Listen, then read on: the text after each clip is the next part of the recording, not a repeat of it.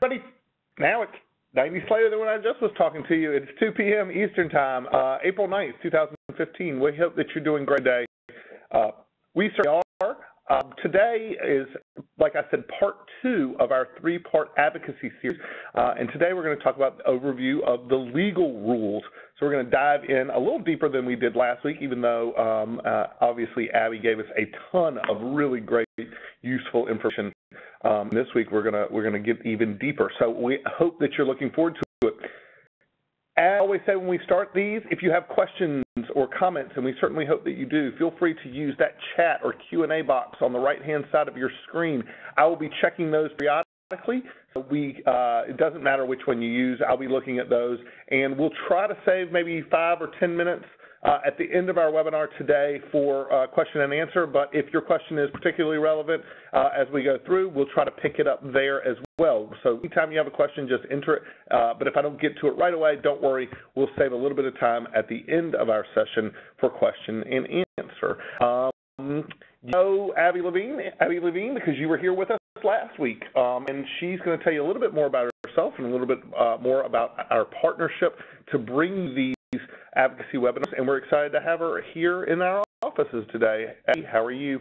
I'm great. Thanks so much. And it's so nice to be with all of you this afternoon or morning for those of you on the western part of the country. But as Andy said, this is the second in a three-part series that Alliance for Justice and our Bolder Advocacy Initiative is partnering to conduct with BoardSource. And as part of a larger initiative, we have been working with BoardSource for the last year or so part of the Stand for Your Mission campaign, which is an effort to encourage board members and trustees of nonprofit organizations and foundations to embrace the concept of advocacy and to advocate and be ambassadors for the organizations.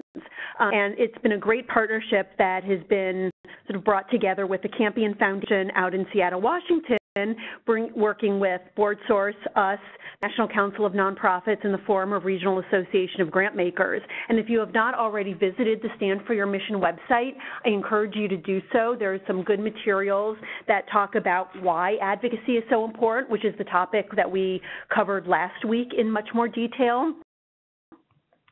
Some great guides and questions and to think about in board meetings and talking with trustees and board members of your organization.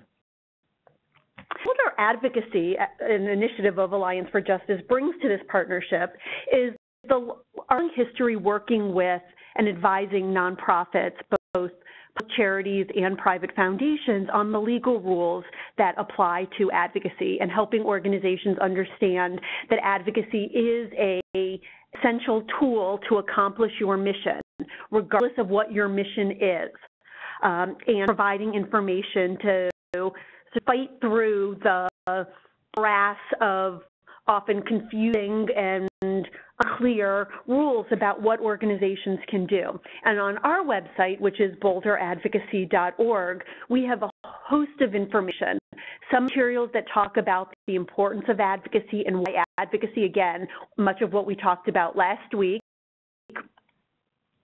We also have a lot of resources on the legal rules, much of what we're going to talk about today. What, what are the differences in types of different types of nonprofit organizations, and how do the rules vary? What is lobbying? How much can, lob, can organizations do? What can organizations do during election season? How can foundations support our work? That and much more. And so again, I encourage you to visit our website. Um, and we also have, as we'll talk about next week on the third of the third part series, um, we also have on our website some tools that you can use to assess your organization's or grantees advocacy capacity or to evaluate advocacy. In addition to all of the great resources we have online, and in addition to the trainings that we do, um, for instance, like the one we're doing this month partnership with BoardSource, I should also mention that we have a cost-free technical assistance line. And so either me or one of my colleagues is available every day to answer questions, whether it's the topic that we're covering today or about elections or about foundations or working with other types of organizations, know that you can call us. And um, after the webinar, or you actually before the webinar, you received a handout that has a copy of the PowerPoint slides, and the very last slide has our contact information. I should say that while I'm a lawyer and my colleagues are lawyers, we are not your lawyer and we don't provide legal advice, but we can help walk through what the issues are, think about what the questions you might have, um, what the law is, and source that we encourage you, um, if you have questions, to please let us know. But with that, I really want to jump into today's topic, an overview of the legal rules. Because it's so important for nonprofit organizations to know that advocacy is legal and it's an appropriate activity for you to do. Where what we're going to do today is really get into the details about the legal rules in terms of what advocacy means and what different types of organizations can do. So we'll start by providing a brief overview of different types of nonprofit organizations that you may hear about 501c3 organizations or 501c4 organizations or private foundations and public charities. And some of you may be going, well, what, all, what does all that mean? We'll go through and sort of provide an overview of the different types of organizations and the different rules that apply to different nonprofits. And then we are really going to jump into the heart of today's training, really distinguishing advocacy from lobbying. And we're going to a lot of time going into the details of what counts as lobbying and what doesn't. And then really, we will talk a little bit about some activities that you may think are lobbying, but actually aren't. Is uh, overview. I could spend three hours or more talking about what's lobbying, the difference between lobbying and advocacy, how much you can do, how to track it. We're not going to do that. I'm going to try to talk for about 45 minutes and then leave time for questions. But know that, again, we do have lots more resources on our website that go through much of what I'll be co covering in much more detail. And again, feel free to contact me or my colleagues if you have questions after today's webinar. Just as, as well, when we're finished with the entire series, when all three are finished, we're going to put a recording up of all three of these webinars on the Stand for Your Mission uh, .org website as well. So again, as we start thinking about what is lobbying and what's the difference between lobbying and advocacy, we want to talk about the different types of nonprofits. Because depending on what type of nonprofit you are, what, what makes is sort of what's key or determinative of why it matters whether something is lobbying or advocacy or not. I, for some organizations, I know that lobbying creates this fear and this thought of, well, we can't do it. And most of us, we can put those fears aside and recognize that there is a lot that we can do, including activity that counts as lobbying. But under federal tax law, which is the body of law that tax-exempt organizations, or what we often think of as nonprofit organizations, that allow us to be tax-exempt, of not having to pay federal income tax, um, has different rules for different types of tax-exempt organizations. And there are a lot of different types of tax-exempt organizations, right now over 30 different kinds, most of which are found in Section 501C of the tax code. 501c3 organizations are probably the most famous, the most known, the most beloved. They are the charitable, religious, educational organizations. Board Source is a 501c3 organization. Alliance for Justice is a 501c3 organization. The Fair Wisconsin Education Fund is a 501c3 organization. And we are 501c3 organizations, not only do we not have to pay federal income tax, but contributions to our organizations may be tax deductible to the donor. And that ability to offer donors that tax deduction key advantage of a 501c3 organization. 501c3 organizations are really the, with very few exceptions, the only type of entity that can offer that tax deduction to donors. So maintaining that 501c3 status is really important. In addition, within the category of 501c3 organizations, there are actually two types of entities. There are public charities, which are what groups like Alliance for Justice, Board Source, Fair Wisconsin Education Fund are organizations that receive funding from a broad array of sources and carry out programmatic activity. In the category of 501c3s, however, there's another type of entity. There are ones considered to be private foundations, and these are entities like the Campion Foundation, a family foundation, or the Knight Foundation, or the Ford Foundation, or the Carnegie Corporation. Private foundation funding doesn't come from a broad array of sources, but tends to come from an individual, from a family, from a corporation. Private foundations are subject to additional rules. One rule that applies to private foundations but does not apply to public charities is that private foundations need to spend at least 5% of their assets each year for charitable purposes. The most common way that they do that is by making grants. And who they tend to make grants to? The preferred recipients for most private foundations are 501c3 public charities. So as public charities, we really have this great advantage in terms of fundraising, being able to offer those tax-deductible contributions to individual or corporate donors and being able to receive contributions from foundations. So meaning that 501c3 status is key. Some of the rules that apply, there are a number of rules that apply to 501c3s, but some of them fall in the advocacy category. One of those rules electoral activity. 501c3 organizations, and this is true whether the entity is a private foundation or a public charity, is absolutely prohibited from supporting or opposing candidates for public office. Organizations, 501c3s themselves, organizational resources, me or Andy in our capacity as organizational staff cannot support or oppose candidates. We can as individuals, and I could campaign for the mayor of the city of Alexandria where I live, but I need to make sure I'm using my email account, that if I'm making contributions, I'm doing it through my personal account and not using my work credit card, that I'm not doing any campaign activity um, for Justice time.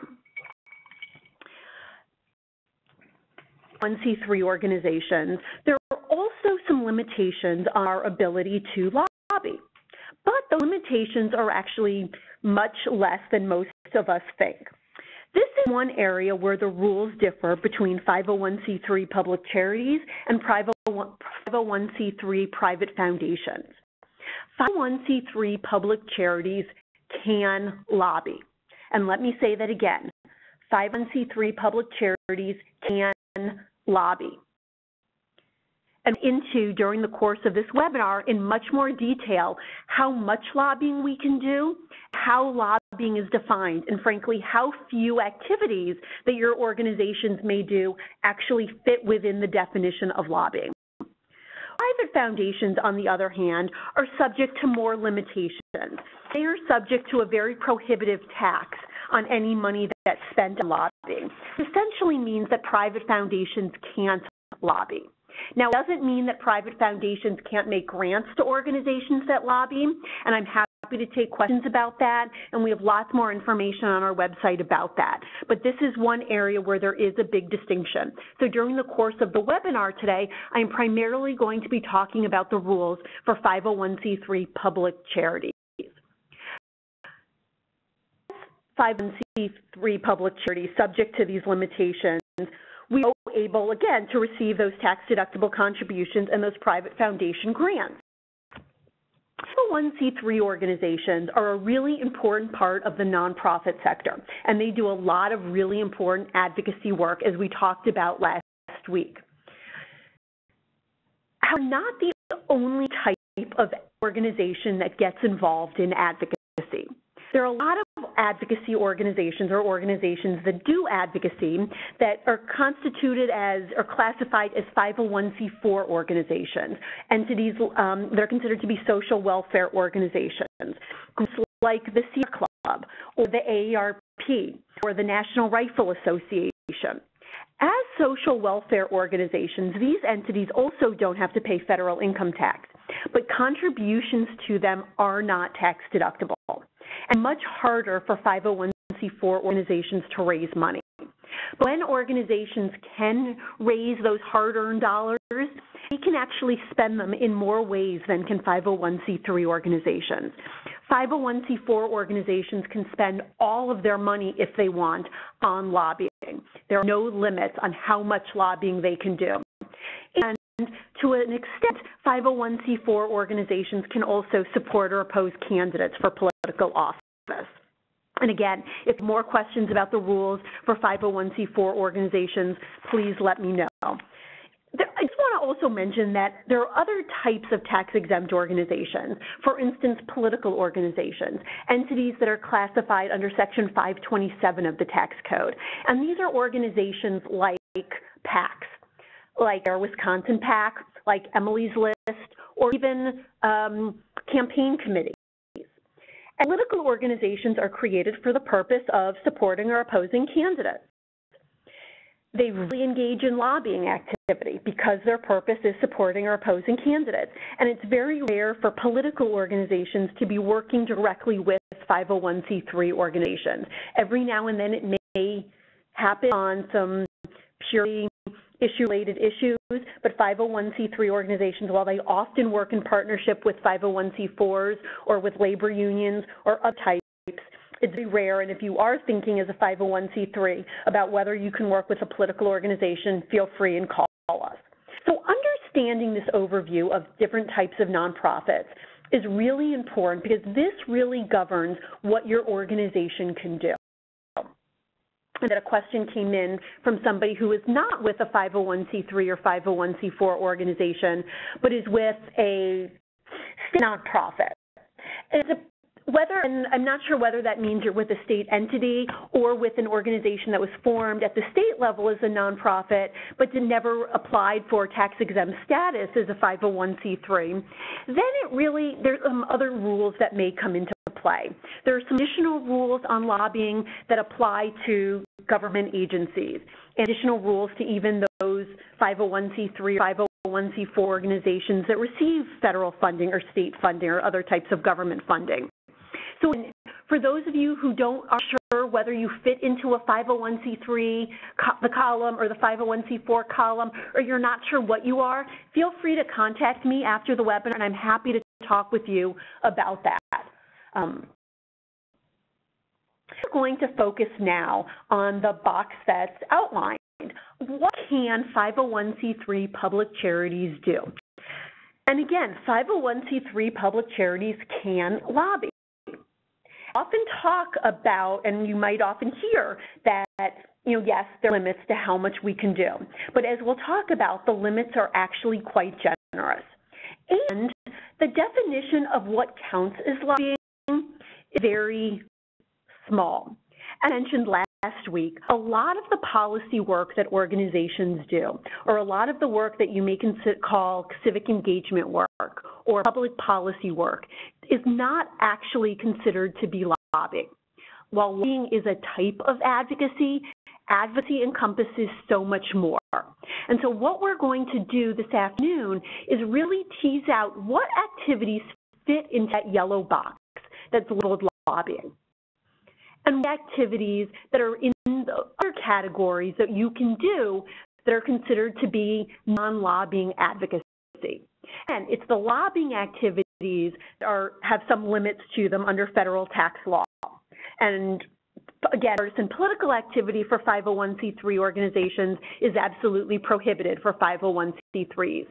But all of the other types of advocacy, whether it's community organizing or education or research or other activities that don't fall within the lobbying limits, we can do subject to no limits at all. So understanding what counts as lobbying and what doesn't is really important.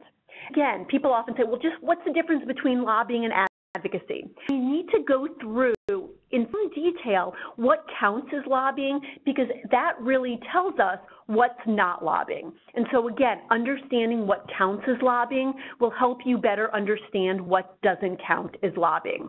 And again, when I talk about activities that don't count as lobbying, those are the activities that you may consider to be educational or charitable or public policy or advocacy. Um, but again, under federal tax law, the body of law that governs your ability to receive those tax deductible contributions, it's understanding what counts as lobbying under those rules is really important, and really understanding what doesn't count as lobbying. Again, everybody who registered received the slides before the webinar, and um, well, if you didn't get them, just let us know. So as we think about how much lobbying we can do, because as 501c3 organizations, public charities, we can lobby. The code makes it very clear that 501c3 public charities can lobby. And there are actually two ways that we can determine or measure how much lobbying we can do. They're called the insubstantial part test, and there's the 501h expenditure test. The insubstantial part test is the default. If your organization takes no proactive steps, nothing, you file your application to be a 501c3 organ public charity, and that's it, you are subject to the insubstantial part test. In order to use the 501h expenditure test, organizations need to fill out a form, and I'll talk more about that. Substantial part test is pretty much what it sounds like. A 501c3 public charity can lobby as long as lobbying is not a substantial part of its activities, or lobbying has to be an insubstantial part of the organization's activities. You might think that's great. So how do we find what's substantial? And I wish I could give you a good answer. Even though the insubstantial part test has been in the tax code for a long, long time, there is no clear definition of what counts as substantial or what counts as insubstantial. We don't know how much we can do. There's some very old court cases in which an organization spent less than 5% of their activities on lobbying and the court said, nah, that wasn't substantial. Another organization that spent more than 15% of its activities on lobbying and the court said, yep, that was substantial. But where is that magic number? We don't know. We also don't know what counts as lobbying under this test. And in a few minutes, I'll go through sort of a broad scale definition, but it's very precise to pinpoint what's lobbying and what's not lobbying under the insubstantial part test. So, ask a question. Sure. What is your liability if you are in, if you have been lobbying, it hasn't substantial, but can you kind of have this plausible deniability that we thought it so, was? Uh, uh, so it's a really good question. Most of the time, nothing happens. Lobbying reporting is self-reported, and it gets reported on the Form 990 on Schedule C for those organizations that have to fill out um, the schedule. And I should say every organization has to fill out a 990. Um, not every organization needs to fill out schedules. Um, so it's self-reporting. The IRS a few organizations. So the chief of the IRS auditing organization revoking tax exempt status is fairly. The 990s are publicly available documents, and they're available on and organizations have to make them available if somebody requests them. And what we've seen more often is organization, somebody who doesn't like the work of your organization. I know you might think it's hard to believe that anybody may not like and support the work that your organization is doing, but somebody who might have an ideologically different uh, viewpoint on an issue um, may look for ways to get your organization in trouble. And making allegations, whether they're right, wrong, whether the IRS does something, is one way that it, you have to focus your energy on to complaints or hiring lawyers or assuring your funders that you didn't do anything wrong. And it takes your attention and resources away from your mission based work. So that's why it's so important to pay attention to these rules, to have record keeping systems in place, to make it harder to, for people to attack or to make it harder for those accusations to stick. Now, I should say theoretically, under the insubstantial part test, if an organization has engaged in a substantial amount of activities, even in one year, the IRS theoretically could revoke your organization's tax exempt status, but it doesn't happen very often. Um, I also say there is on Form 990 Schedule C, when organizations report lobbying under the insubstantial part test, they actually have a question that says, have you done so much lobbying this year that your lobbying is substantial? and I've always wondered whether anybody ever checks that Right. box. Um, because this test is so vague, and because the theoretical penalties could be severe, 1870s, a number of organizations got together and lobbied Congress, and they said, we need more clarity. We know we can lobby, but we want to make sure we're doing it right. We want to make sure we're not going over those limits. We want to make sure we're tracking what counts as lobbying appropriately. But in order to do that, we need guidance. So in 1976, Congress passed a new section of the tax code, which is Section 501H of the tax code. And that provides this alternative expenditure test that most organizations can use to measure their lobbying. I say most organizations because under the law, and this was at the request of organizations, uh, at the law was passed, churches and other houses of worship can elect to use the 501H expenditure test. Churches are 501c3 public charities. They are limited to how much lobbying can be done, but they have to use that insubstantial part test. Other public charities, on the other hand, can choose to use this 501H expenditure test, and organizations choose to do that by filing IRS Form 5768 with the IRS, or what we often refer to as making the 501H election to measure your lobbying under this expenditure test. Organizations fill out the form only once. It's not something you have to do every year, but it changes the way you track your lobbying, and in many cases, it changes what counts as lobbying and what you need to report. As the name implies, under this expenditure test, organizations only need to track how much money they're spending on lobbying. Under the insubstantial part test, organizations have to look at how much money they're spending and what are the activities that they're doing. The expenditure test, we're not looking at all of our activities. We're not looking at what our board members are doing. We're not looking at what our volunteers are doing. We're only looking at how much money the organization is spending.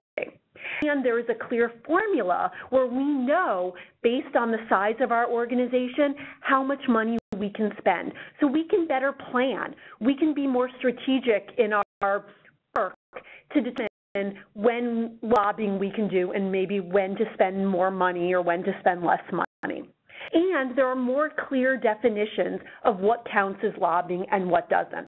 And finally, as if all of those benefits weren't enough, the penalty for exceeding your lobbying limits in a particular year isn't nearly as significant. If an organization exceeds its lobbying limits, it will be subject to an excise tax. But the IRS cannot revoke an organization's tax exempt status, in most of our cases, the lifeblood of our organization, unless we exceed our limit, our lobbying limits by 150% over four consecutive years.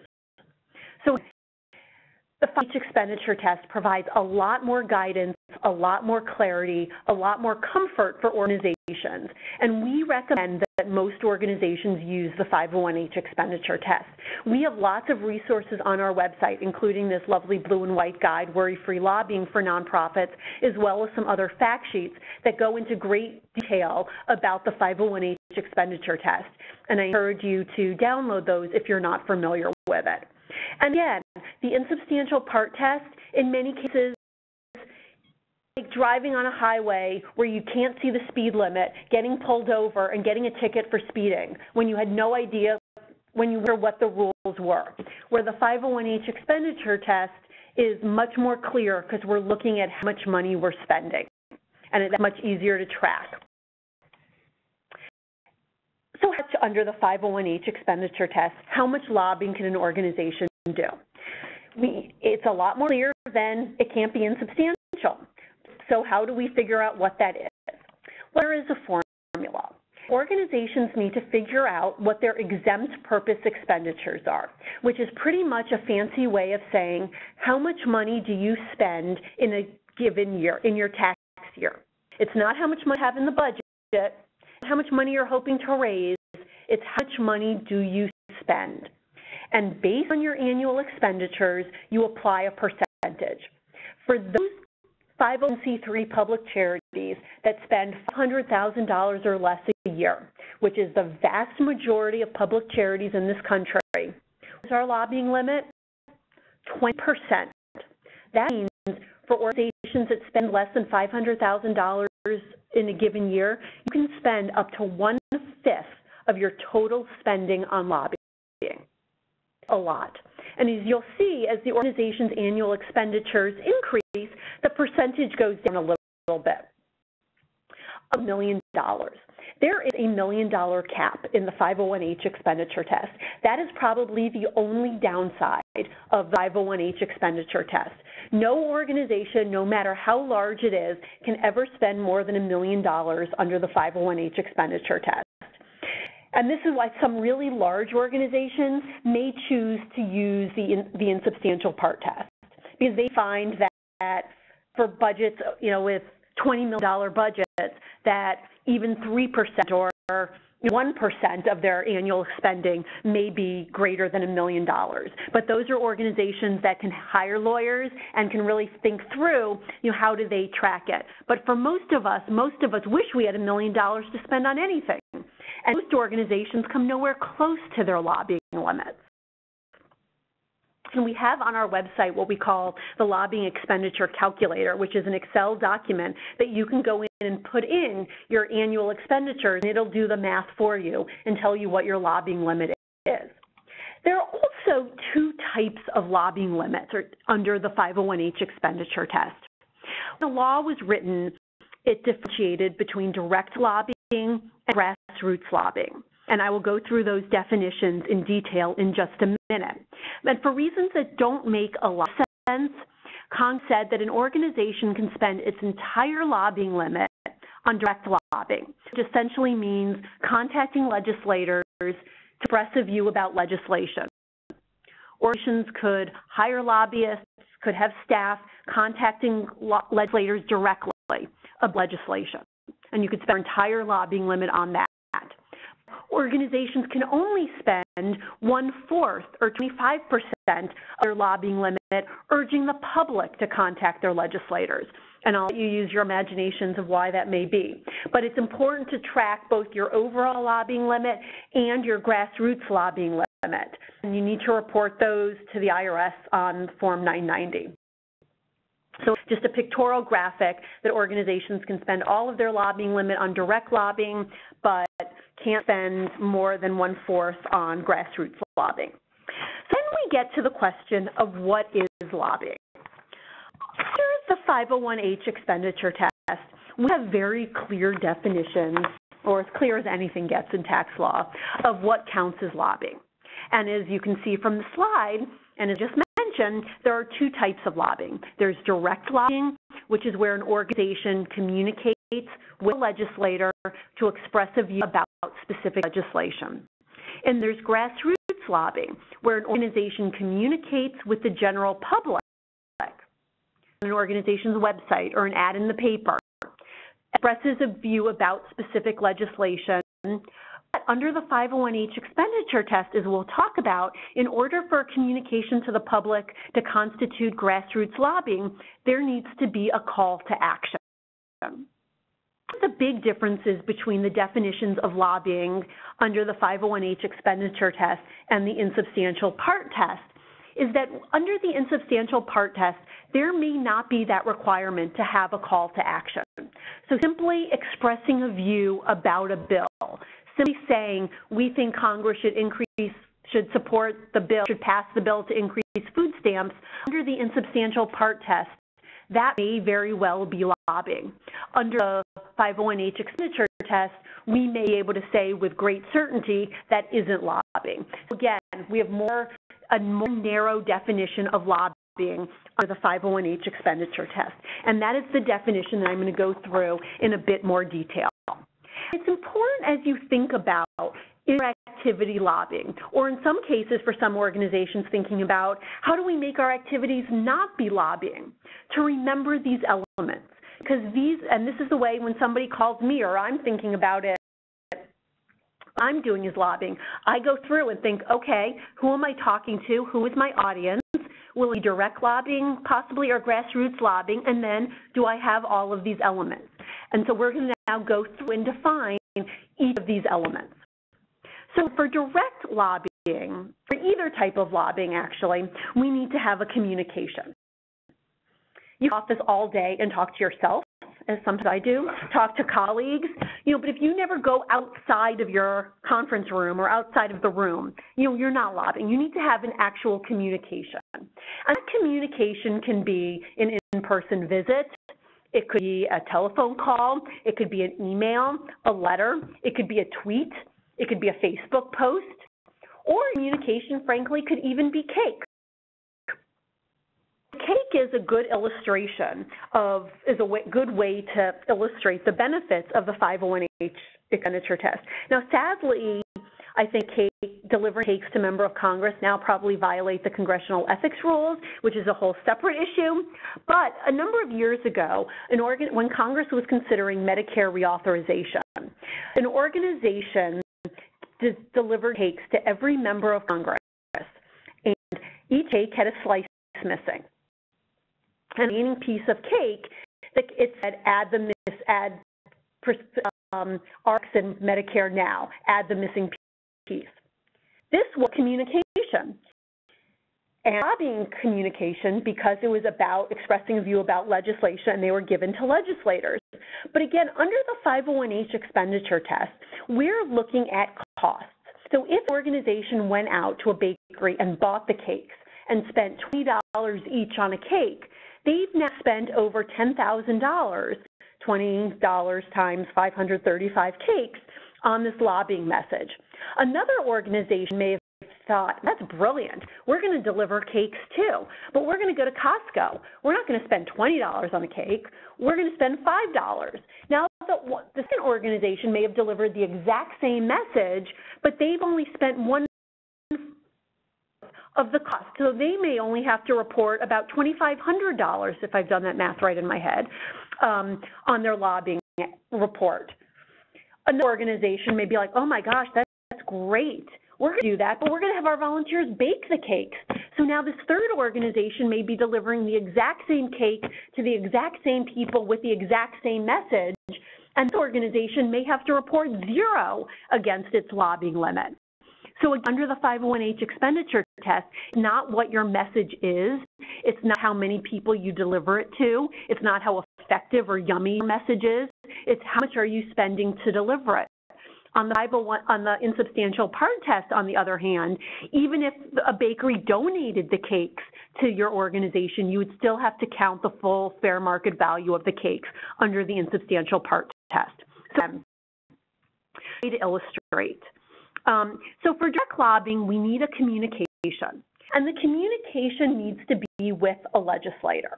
Who is a legislator? It's members of legislative bodies and members of legislators at every level of government, federal, state, local, and frankly at an international level as well.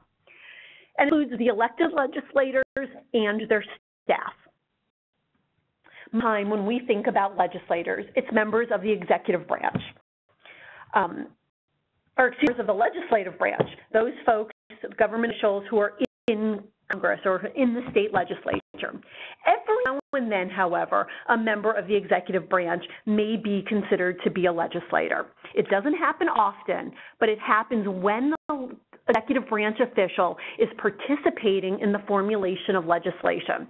So if organizations were urging the president to sign a bill into law for purposes of that about signing the bill, the president is considered to be a legislator. Or if you are urging your governor to veto a bill, the communication urging the veto would be a communication about the formulation of legislation. And the same thing may hold true if you're talking about a budget appropriation or the budget that the governor introduces, or if you're communicating with the Secretary of Health and Human Services about a bill that she's heavily involved in. But again, the, the, we're really talking about for lobbying on federal tax law definitions to be dealing with legislators. We need to be dealing with someone who formulates legislation.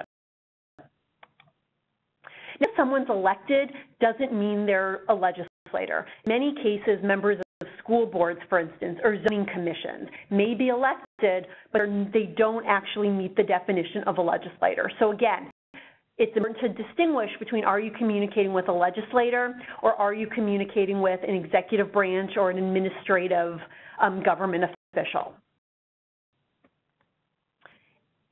And special rule that most of the time when we're communicating with members of the public, that falls into the grassroots lobbying category. Except when we're talking about ballot measures or referenda or tax levies or constitutional amendments, whatever form it may take in your community. In that case, it's not our elected legislators that determine whether something passes or fails, it's us, the voters. So most of the time when we're communicating to the public, it would fall under the grassroots category, except when we're talking about ballot measures, we, the voters, are considered to be legislators. But simply talking to a legislator does not mean you're lobbying. Again, just as you're talking to a legislator doesn't mean you're lobbying. In order for that communication with the legislator to be lobbying, you need to be expressing a view about specific legislation. This legislation may be a bill that's already been introduced that has very formally written out. It be a budget, confirmation of a judge that needs to be confirmed by the Senate. Or it may be a bill that's been introduced in another state that you want to encourage your state legislature to introduce or sometimes it may be discouraging legislators from introducing a bill. When talking about specific legislation, it's often things that have already been introduced, but it may also be trying to get legislators not to introduce something. There is a big difference between expressing a view about specific legislation versus expressing a view about an issue talking with legislators about the need to increase funding for the arts in a community is not necessarily lobbying. If you were meeting the legislator and said, we need to increase um, or we need to, um, to create a tax on increase the sales tax where a portion of those of the tax funds will be given to the arts. Now talking about specific legislation talking about a specific solution that only be accomplished through the legislature. But talking about an issue, talking about we need to do something about climate change. Those of you in California, we need to do something to deal with water crisis. That by itself is not lobbying. When we're expressing a view about specific legislation, we need to be thinking about what is that legislative, what is that solution, and that solution needs to be to, to come through legislation a lot of types of advocacy activities that are not dealt with through specific legislation. So for instance, litigation, that may be an effective advocacy strategy. Filing a lawsuit or filing an amicus brief, even challenging the constitutionality of a law is not dealing with specific legislation. Essentially, specific legislation needs to be voted on by a legislative body Judges are not legislative bodies. If we're working, trying to get the governor to issue an executive order or the president to issue an executive order. So immigration groups are weighing in with the president, trying to get him to issue an executive order on um, dreamers. That that policy work, but because they were getting seeking an executive order, it was not lobbying under federal tax law work with administrative agencies, whether it's the Department of Health and Human Services, a state Department of Health, the State Department of Education, Secretary of State's office, whatever agency. Regulations, implement programs, some comments on what rules and regulations should look like is not considered to be specific legislation. Again, specific legislation requires a vote of a legislative body. If the policy result can be achieved in another way, through the executive branch by itself, through the judicial branch, it's not considered to be lobbying. Looking, seeking the enforcement of existing laws, monitoring the enforcement. Again, a really important advocacy activity, but not considered to be lobbying.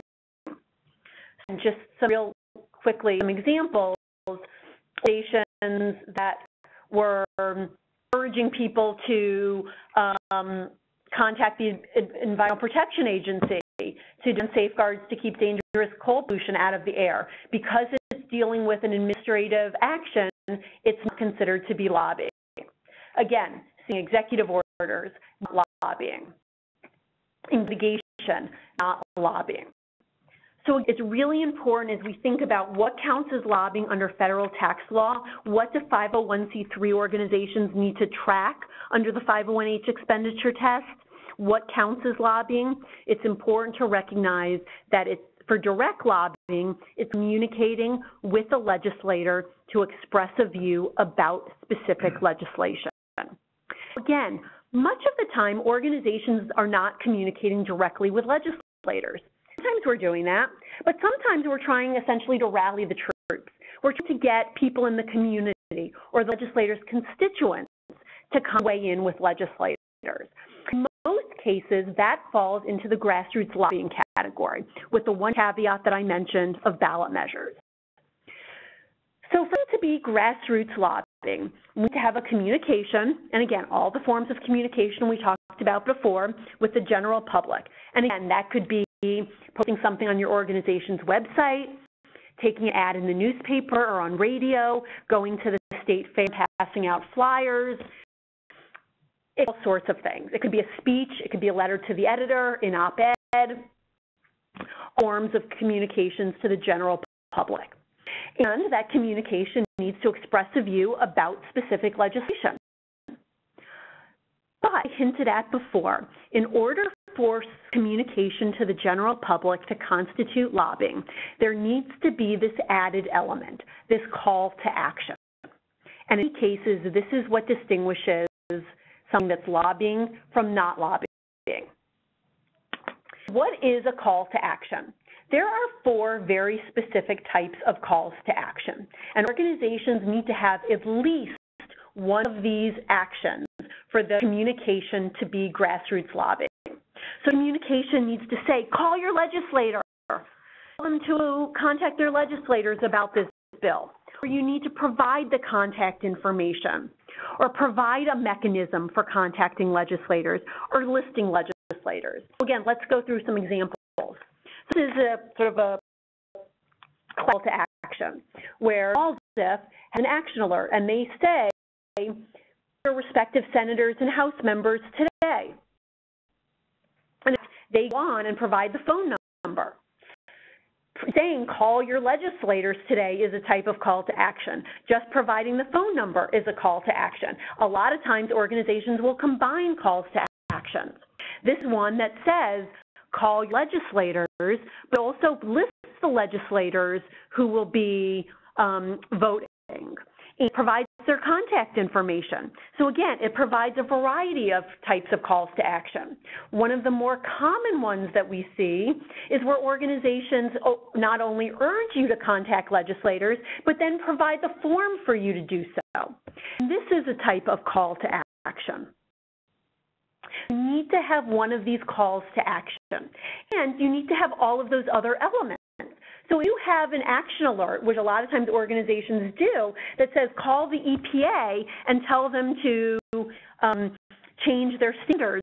That may be asking people to contact the government, but it's not contacting legislators. So again, we need to have all of these elements present. Now, if an organization does not have a call to action, so for instance, you write a letter to the editor and talk about why the Senate needs to increase funding for food stamps, but you don't include a call to action, you are not lobbying. And again, that's one of the very clear differences between what counts as lobbying under the 501h expenditure test and under the insubstantial part test. Again, as long as you leave off that call to action when you're communicating to the public, it's not lobbying. I mentioned, as I said at the beginning, that private foundations, entities like the Campion Foundation or the Ford Foundation, that themselves can't spend money on lobbying. Any these are the definitions that they use to determine what's lobbying. So if it doesn't count as lobbying under the 501h expenditure test definitions, it's not lobbying for, for the foundations as well. It's important to understand and keep track of these different elements. So here's an example. This is an ad that says the more these cost, the less they'll smoke. Tell the legislature raise the cigarette tax. Call the Maine legislature and provides the phone numbers for the Maine House and Senate. Protect our kids, not big tobacco. This is a classic grassroots lobbying campaign. It's communication to the public because it's an ad. It's expressing you about specific legislation, raise the cigarette tax, and it has several calls to action. Tell the legislature, call the legislature, and the phone numbers. But what an organization still wanted to express a view on the issue of the cigarette tax, but did not want to lobby for whatever reason. Out this ad that says the more these cost, the less they'll smoke, raise the cigarette tax, protect our kids, not big tobacco. This ad that is to the general public does not include a call to action. And so this ad by itself is not lobbying. So again, understanding what counts as a call to action is really important. I want to real briefly walk through a few exceptions and then take some of the questions that have come in. There are activities, um, and these are just some other examples, some activities that technically meet the definition of lobbying, but for various policy reasons have been carved out. One is what's called examinations and discussions of broad economic and similar issues. So again, if you're just talking about an issue and not getting to the actual solutions or what the legislative solution should be, that's not lobbying. We don't have a whole lot in the formal sense. But what we do see a lot is organizations creating what are called nonpartisan analyses, often white papers or studies. And in, for these documents, and they could be a written document, it could be a video, it could be some other type of communication. The communication needs to have what's considered to be a full and fair discussion of the issue and need to broadly disseminate it. Assuming you do that, you can express a view, including a view on legislation. And these reports could be disseminated to legislators. But again, it's more than just simply saying this is what this is our view, but it has to provide a full and fair discussion exception that applies to nonprofits very often is what's called request for technical advice or assistance, where an organization is invited to provide testimony to a legislative body or other governmental body. The key for this exception is that you want to get the request in writing, and the request needs to come from the legislative body itself. It's not enough that one legislator that you're talking to or the sponsor of the bill asks you what you think. The request needs to be made on behalf of the committee or on behalf of a task force. Finally, the last exception is what's called defense. And this is one that doesn't apply as often as groups often want it to, um, but it is one that particularly the private foundation um, sector has been able to take advantage of in the past. This is where there's legislation that affects the powers and duties of an organization, the tax exempt status of the organization, or the ability to receive um, tax deductible contributions. Um, so something that would change the the tax structure of an organization, for instance, or would say that 501c3 organizations could no longer receive tax deductible contributions, um, would fit within the self-defense exception. I want to just point out that we do have resources on our website um, that talk about the record-keeping systems.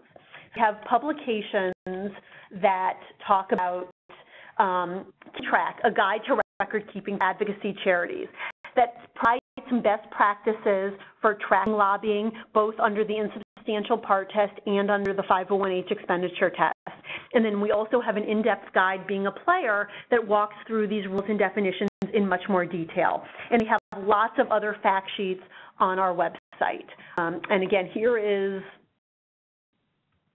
contact information um, with our email address, which is advocacy at afj.org, where you can email questions. You can do it through our website, which is bolderadvocacy.org, or you can call us um, at 866 number. But I want to stop there and be able to answer some of the questions that have come in.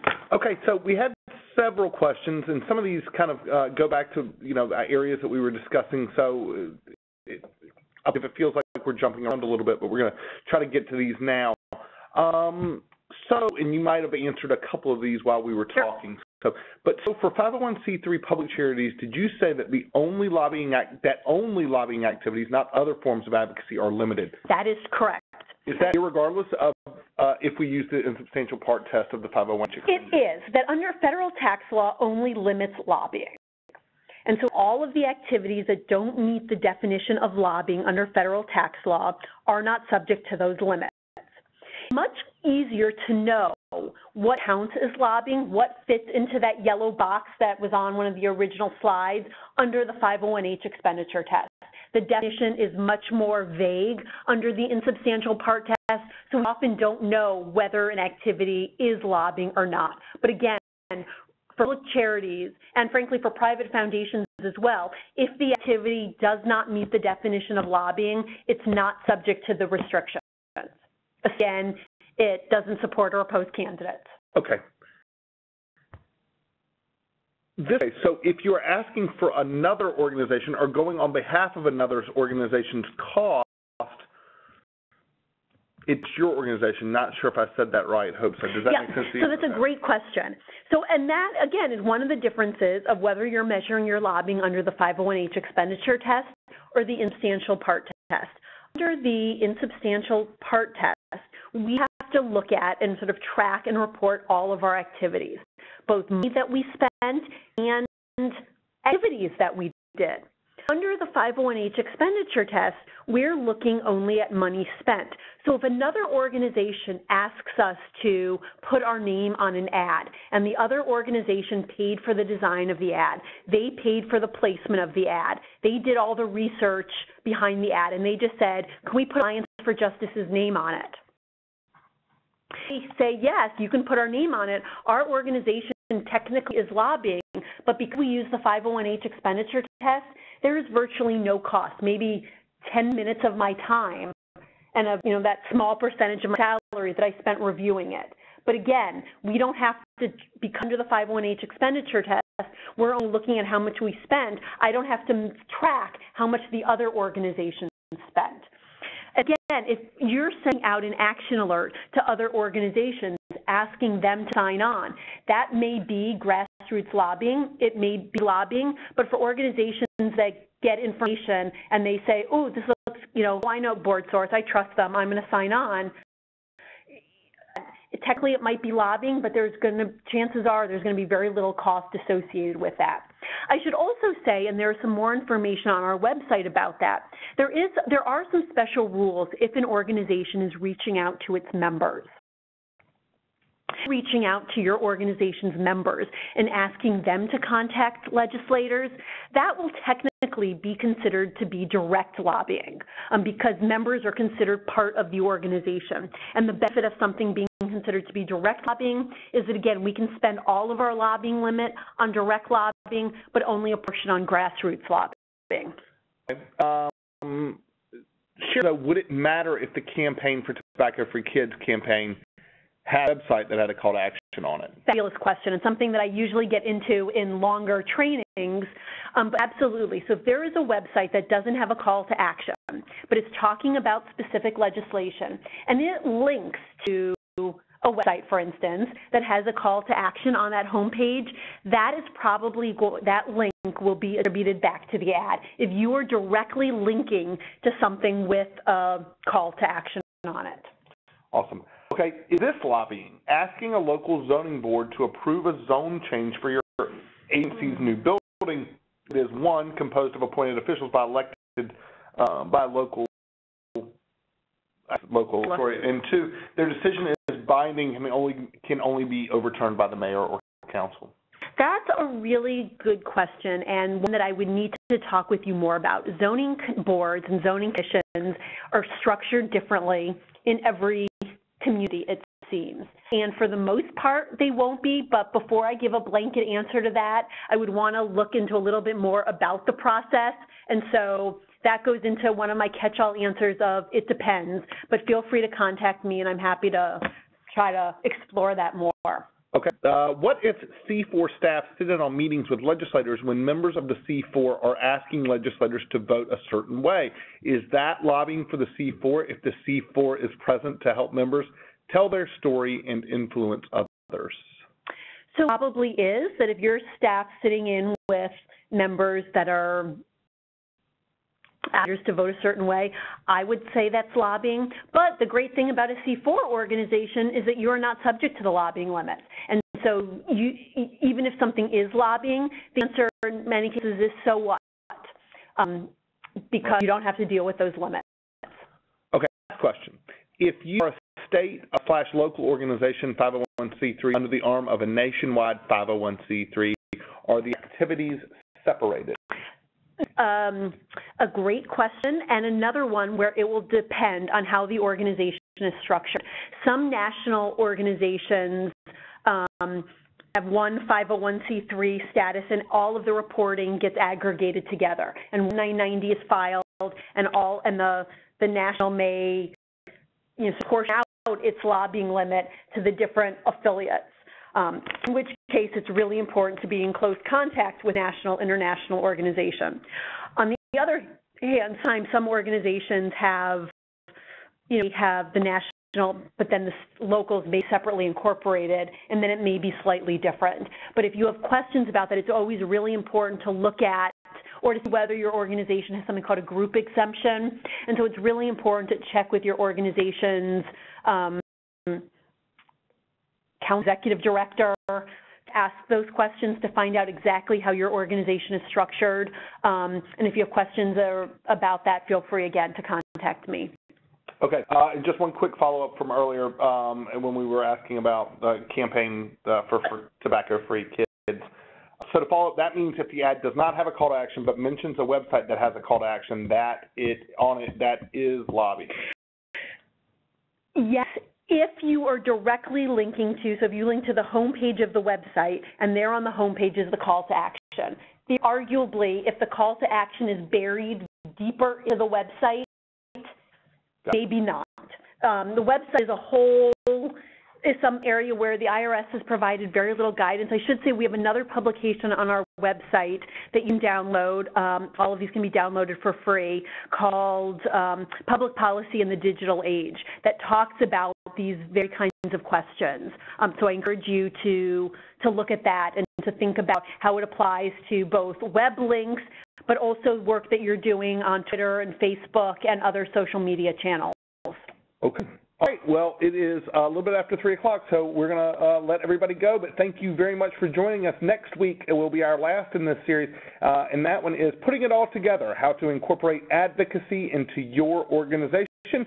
Uh, Abby Levine will be in New York. I will be here, but we, were gonna, we are going to have a great uh, together. So join us then. Thank you, everybody, for uh, joining us today, and we will see you soon. Goodbye, everybody. Take care.